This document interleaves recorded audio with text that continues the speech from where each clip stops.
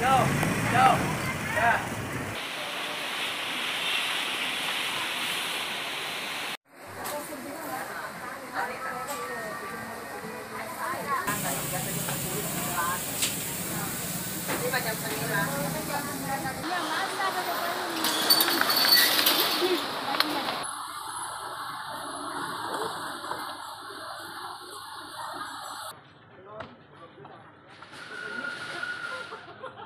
Tapi sekarang mah nggak ada ganjil genap ya Pak?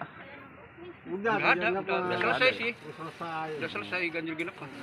Cuma pas awalnya doang ya? Iya. Mau dipasok ganjil genap kali Pak? Ya? Apalagi waktu pas terus terus Pak. Langsung jadinya. Jadi Pak, selama pandemi ini berpengaruh nggak Pak ke penjualan barang-barang di sini? Alhamdulillah.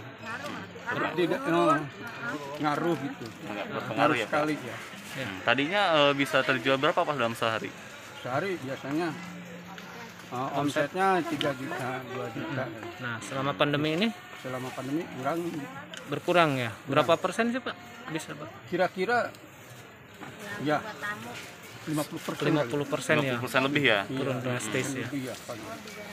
Itu selama pemberlakuan PSBB ini juga eh, sangat berpengaruh, berdampak juga berarti ya? Dampak sekali. Iya, dampak. Konsumen berkurang, Pak ya? Konsumen kurang, Jadi sepi. sepi gitulah. Mm. Ya harapannya seperti seperti semula lah gitulah ya. Nah, jadi nggak ada apa-apa gitu seperti biasa gitu ya. Biar pandeminya segera selesai gitu. Selesai gitu ya benar. Gitu. Biar bisa- Harapan Ya. saya supaya selesai gitu aja.